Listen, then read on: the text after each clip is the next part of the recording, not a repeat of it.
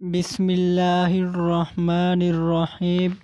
حضرت عثمان رضی اللہ تعالی عنہ فرماتے ہیں کہ میں نے حضور صلی اللہ علیہ وسلم سے سنا تھا کہ میں ایک ایسا کلمہ جانتا ہوں جو شخص اس کو حق سمجھ کر اخلاص کے ساتھ دل سے یقین کرتے ہوئے اس کو پڑھے۔ تو جہنم کی آگ اس پر حرام ہے۔ حضرت عمر رضی اللہ تعالیٰ عنہ نے فرمایا کہ میں بتاؤں وہ کلمہ کیا ہے۔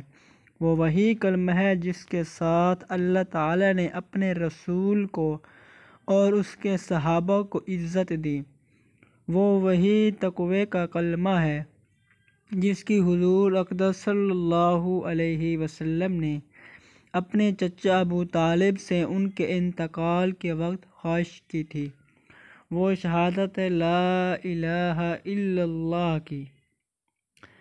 حضور صلی اللہ علیہ وسلم کے چچا ابو طالب کا قصہ حدیث، تفسیر اور تاریخ کے کتابوں میں مشہور و معروف ہے کہ جب ان کے انتقال کا وقت قریب ہوا تو چونکہ ان کے احسانات نبی اکرم صلی اللہ علیہ وسلم اور مسلمانوں پر کثرت سے تھے، اس لیے نبی اکرم صلی اللہ علیہ وسلم ان کے پاس تشریف لے گئے اور ارشاد فرمایا کہ اے میرے چچا، لا الہ الا اللہ کہہ لیجیے تاکہ مجھے قیامت کے دن آپ کی سفارش کا موقع مل سکے۔